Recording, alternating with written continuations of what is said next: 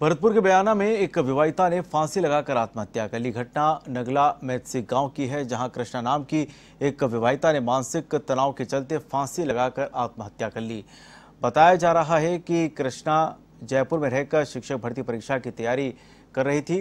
Lockdown के कारण 20 मार्च को वह ससुराल आ गई। यहाँ नियमित पढ़ाई नहीं होने के कारण वह मानसिक तनाव में थी। इसी के चलते उसने आत्महत्या कर ली। फ़िलहाल पुलिस ने मामला दर्ज कर जाँच शुरू कर दी है।